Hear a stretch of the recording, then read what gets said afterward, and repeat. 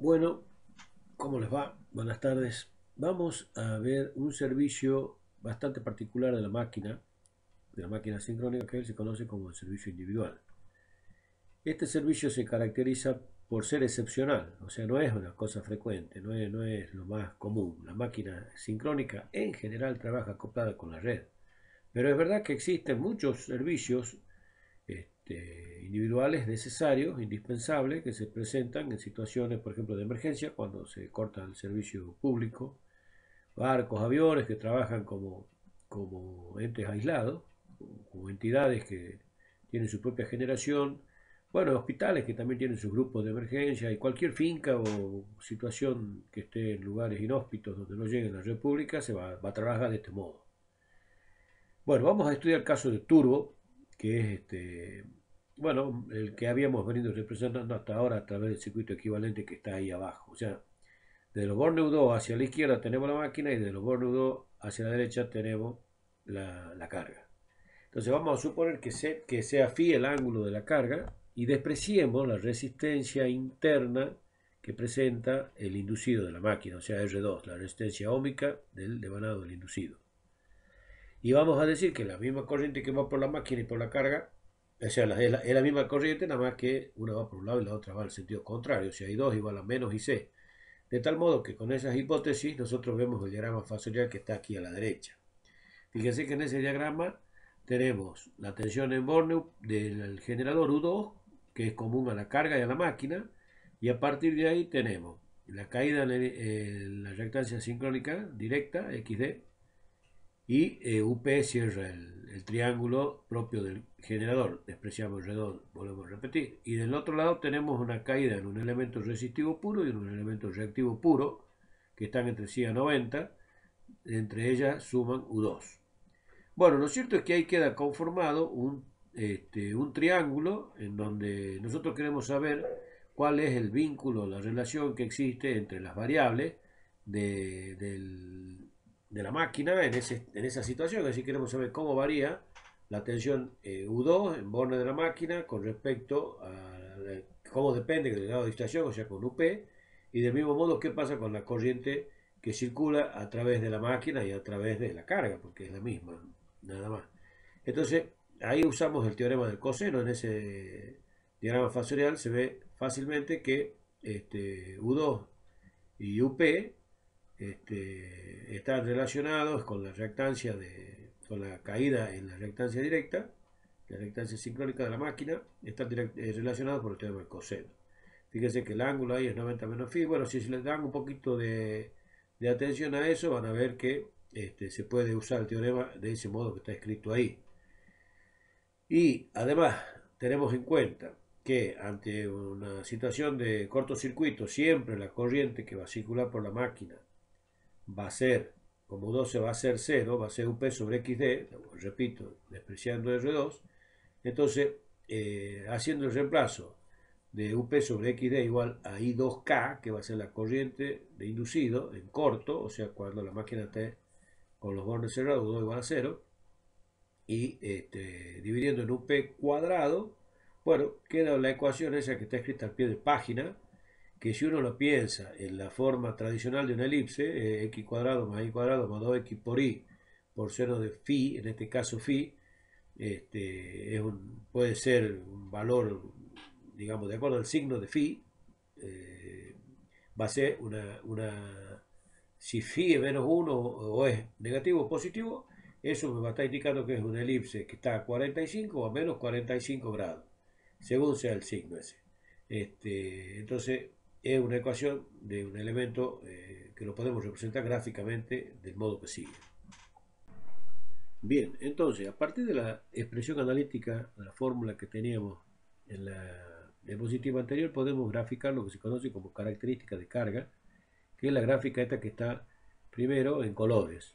Ahí vemos claramente, este, primero vamos a ver los casos extremos, digamos el rojo y los naranjas. El rojo es el cargo de coseno phi inductivo igual a cero corresponde a una máquina en cortocircuito en el punto 1 sobre el eje de las abscisas y vacío en ambos casos siempre aparte para, corresponde lo mismo pero sería el, caso en rojo sería la máquina en cortocircuito tendríamos una carga inductiva pura Y si sobre esa situación vamos intercalando inductancias variables, pero siempre que sea inductiva pura, nos iríamos moviendo hasta llegar al punto de vacío, cuando tuviésemos ya una carga infinita. En todos los momentos, en todo, desde que vamos desde, sobre la roja, vamos desde el punto 1 del cortocircuito hasta el punto del vacío, siempre vamos a tener U2 sobre UP menor que 1. Eso es la inversa de lo que era lo que nosotros habíamos definido como el grado de excitación que habíamos hablado cuando hicimos el lugar geométrico de las corrientes. Porque el grado de excitación lo definíamos como UP sobre U2 y decíamos que cuando era mayor que 1 estaba sobreexcitada y si era menor que 1 infra. En la mayoría de los casos, recordemos que no siempre eso era cierto, eso lo vimos bien cuando hablamos de, las curvas en B. Pero bueno, volviendo a esto, lo que estamos viendo en todo momento acá, que al ser U2 sobre UP este, menor que 1 sobre la línea roja, nos movemos eh, en, ese rango, lo que estamos viendo es que la máquina está en todo momento eh, por debajo, o sea, con un grado de, excitación I1 mayor que I1 0, es decir, estamos con UP sobre U2 mayor que 1. Por eso es que en este caso U2 sobre UP es menor que 1, lo estamos viendo acá, porque estamos diciendo que es al revés. Entonces, bueno, fíjense bien en eso, es muy importante. Y en cambio, en el caso de naranja, que con carga capacitiva pura es exactamente al revés. Con carga capacitiva pura yo tengo que imaginar que la máquina tiene un capacitor en los bornes. Entonces ese capacitor hace las veces de proveedor de magnetismo hacia la máquina, o sea, provee de energía reactiva. Entonces vamos a necesitar, una, vamos, a, estar en el caso de que tenemos un grado de excitación menor que 1, vamos a tener UP sobre U2, acá al revés, repito, es mayor. Entonces en esos casos vamos a ver esas dos rectas en naranja que hay ahí, que, bueno, que corresponden a dos casos puntuales de, que sean XC menor o mayor que XD. Desde el punto de vista analítico es muy simple, porque si en la, ecuación de la diapositiva anterior hacemos cumplir la condición de que seno de phi sea 1 o menos 1, nos encontramos con ecuaciones de recta con ordenadas al origen 1 o menos 1 para naranja, y bueno, para el otro caso, bueno, la diferencia clara es, es, muy fácil de graficar y ver que está bien este, la representación gráfica esa. En un caso tenemos pendientes positivas y en el otro pendientes negativas. Los casos, otro caso muy interesante, también muy fácil de interpretar desde el punto de vista analítico, si yo hago coseno de phi igual a 1, o sea, seno de phi igual a 0, el 3, sería la, la curva azul, bueno, me queda un círculo. Eso corresponde exactamente al coseno de phi igual a 1 y si uno hace analíticamente la representación gráfica, bueno, va a ver que eso coincide con lo que está hecho ahí.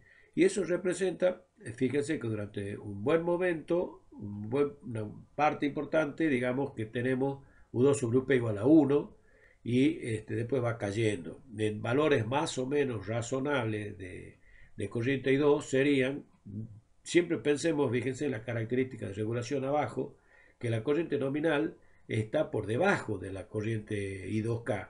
Entonces un valor más o menos este, por la mitad, digamos 0,5 de I2 sobre I2K, nos estaría dando cuánto tiene que ser de sobreexcitada la máquina para mantener la, corriente nominal, para mantener U2 este, igual a la nominal. O sea, tendríamos que tener UP mayor que U2, al revés de lo que hablábamos antes.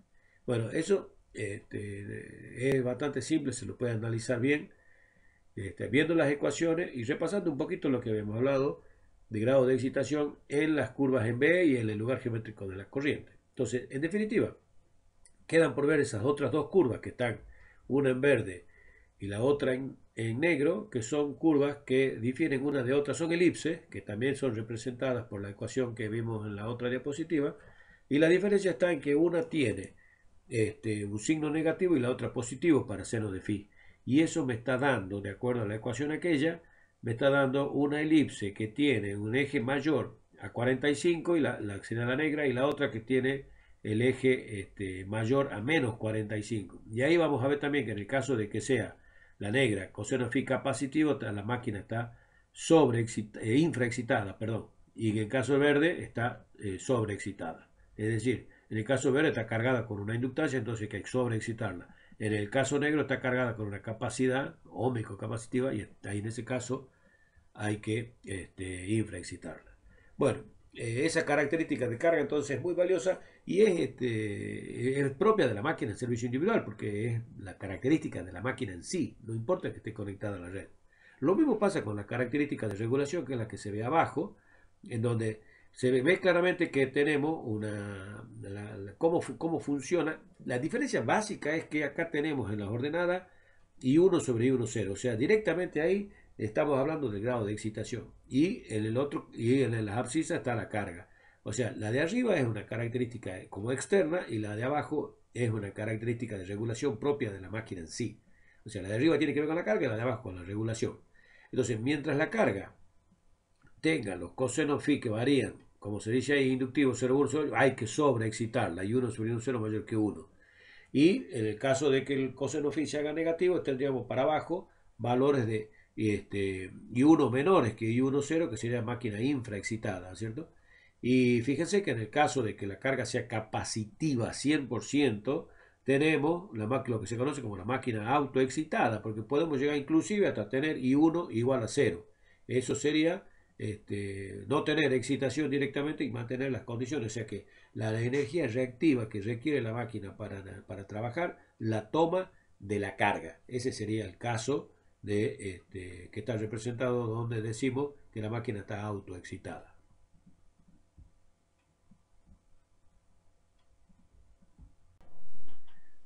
Veamos ahora cómo es el momento eléctrico de la máquina cuando se encuentra este, operando en servicio individual.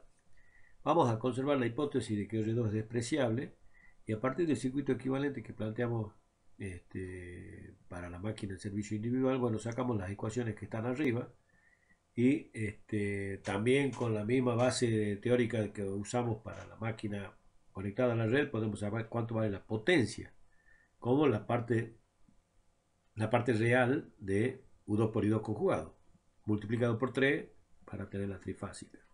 Bueno, eso nos lleva, este, reemplazando valores, bastante sencillo, nos lleva a la ecuación esa que dice que el momento eléctrico entonces de la máquina en servicio individual va a ser directamente 3p' sobre omega, up cuadrado por la parte real de 1 sobre zc conjugado menos jxd. Reemplazando zc por el valor que está ahí, que es r más jc, más x, este, nos quedamos con la ecuación que finalmente aparece, que dice que el momento es 3p' sobre w, el número par de polo, up cuadrado, rc cuadrado, rc sobre rc cuadrado más xd más xc también cuadrado. Bueno, aquí tenemos eh, una conclusión importante, es que el momento depende de la up cuadrado y también depende de, de zc y también depende de la velocidad. Todas dependen en realidad, tanto ZC como UP dependen de la velocidad angular omega. Recordemos que UP era, lo dijimos varias veces ya, era omega por la MD, que era la inductancia mutua del eje D, y este, por I1. Y ZC, bueno, eh, tiene una parte resistiva que no varía con la frecuencia, pero tiene su componente reactiva que sí. Y también la reactancia sincrónica de la máquina depende de la frecuencia. De manera que este, vemos que es bastante complejo para la máquina trabajando por sí sola conservar frecuencia, porque obviamente que nosotros cuando tenemos un servicio este, autónomo, independiente, individual, eh, la máquina tiene que conservar frecuencia y tensión. Entonces se mantiene en las condiciones de trabajo. Entonces es indispensable que tengamos que, regulemos que la máquina de accionamiento este, en todo momento se mantenga en la velocidad de sincronismo y que, la, y que la tensión con la que se está alimentando la excitatriz sea aquella que haga falta para que de acuerdo a cuáles sean las cargas que tenga, porque la carga va a ir variando, eh, lógicamente, siempre tengamos la corriente de excitación, de excitación necesaria para que la tensión en borde siga siendo la tensión de, sincrónica, la tensión nominal. Bien, de acuerdo a lo que veníamos este, conversando, aquí se ve claramente que este, la característica de la velocidad en función del momento para un generador va a depender de la, del valor de la corriente de excitación. Aquí tenemos, por ejemplo, tres valores distintos de I1 y vamos a obtener tres características distintas de N en función de M del generador. Es decir, De acuerdo a cuál sea el valor de I1, vamos a tener distinta respuesta en el momento de la máquina. Entonces, ¿eso qué quiere decir? Que si nosotros estamos en servicio, trabajando en un punto con una determinada velocidad y momento, y por las razones que fuese, resulta de que este, el momento aumenta, la velocidad cae y fundamentalmente el, valor, el valor de la corriente de excitación se viene abajo también para mantener eso. Es decir, varía el valor de corriente I1. Lo mismo pasa y pasamos de un punto 2 a un punto 3 y uno va cambiando de, acuerdo a cuál sea este, la velocidad de trabajo y el momento que se entrega. Todo esto nos lleva a la conclusión que veníamos este, ya hablando en la dispositiva pasada, de que es absolutamente necesario para que la máquina trabaje en condiciones de tensión y frecuencia estable, que tengamos dispositivos, uno que regule la velocidad de la máquina motriz, un regulador de velocidad que controle que la máquina motriz esté girando todo el tiempo a la misma velocidad y obviamente que esa velocidad es la velocidad de sincronismo. Y por otra parte, para garantizar de que la tensión en bornes del generador sea la tensión nominal, o sea, la tensión de servicio que nosotros queremos ofrecer, también tenemos que tener un regulador de tensión en el circuito de la excitatriz. Entonces, de ese modo, lo que tendríamos es una característica de N1, supongamos constante, de tal modo que la máquina se mantenga todo el tiempo con la misma velocidad y por supuesto tendríamos distintos valores de corriente, pero la máquina mantendría un servicio con tensión y frecuencia constante, que es el objetivo obviamente.